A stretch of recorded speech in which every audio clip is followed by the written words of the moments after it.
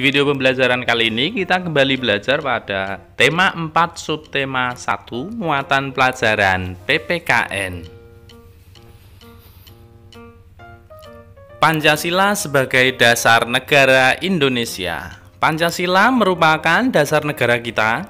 Pancasila dipakai sebagai pedoman hidup berbangsa dan bernegara bagi seluruh rakyat Indonesia. Pancasila tercantum pada lambang negara Indonesia yaitu burung Garuda. Simbol Pancasila terdapat pada perisai di bagian dada burung Garuda ya atau Garuda Pancasila. Nah, setiap sila-sila Pancasila itu memiliki satu simbol.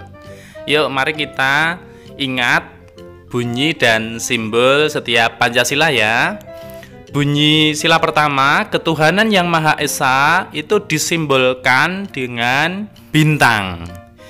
Bunyi sila kedua, kemanusiaan yang adil dan beradab disimbolkan dengan rantai.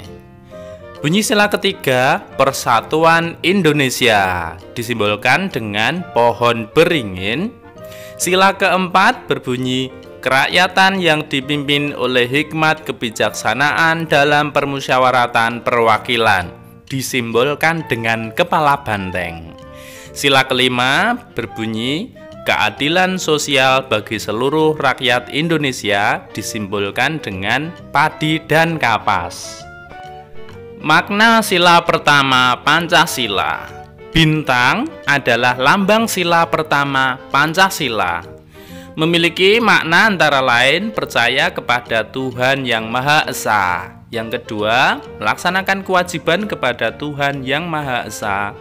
Nomor tiga, saling menghormati antar umat beragama. Makna nomor empat, tidak mengganggu teman ketika beribadah. Makna nomor lima, kerjasama dan tolong menolong antar umat beragama. Bersikap jujur untuk pengamalan sila pertama Pancasila. Kita harus membiasakan bersikap jujur ya. Sikap jujur bermanfaat bagi kita. Sebaliknya, sikap tidak jujur atau bohong akan merugikan kita. Manfaat dari bersikap jujur antara lain yang pertama selalu merasa tenang dan bahagia. Yang kedua, disayang oleh orang tua dan guru. Tiga, dipercaya oleh orang lain. 4. Memiliki banyak teman.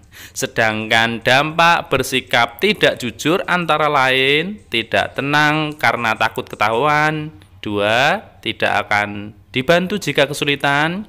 Yang ketiga, tidak disenangi banyak orang. Yang keempat, dijauhi oleh teman. Coba anak-anak perhatikan dialog pada gambar ini ya. Ada Dedi dan pamannya Paman, maafkan Dedi karena bola yang Dedi lempar sudah mengenai tangan paman. Ya, tidak apa-apa, Nak. Yang penting kamu sudah berkata jujur dan mengakui kesalahanmu. Lain waktu, kamu bermain bola harus berhati-hati ya. Sikap yang ditunjukkan oleh Dedi adalah berani berkata jujur dan mengakui kesalahannya. Selanjutnya, sikap yang sesuai dengan sila pertama Pancasila.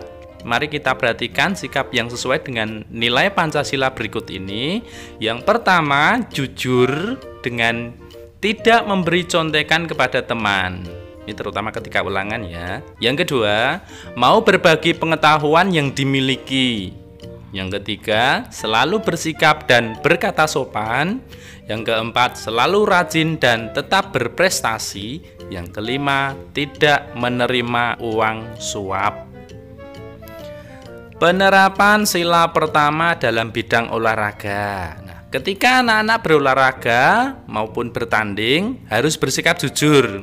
Contoh sikap jujur dalam berolahraga dan bertanding adalah sebagai berikut. Yang pertama, mengakui jika melanggar permainan aturan permainan. Contoh ketika sepak bola, ketika handball ya berarti harus berkata jujur melanggar handball. Yang kedua, mengakui keunggulan lawan dan mengakui kekalahan kita jika lawan lebih baik atau lebih menang ya. Yang ketiga, tidak berpura-pura cedera ketika permainan sedang berlangsung.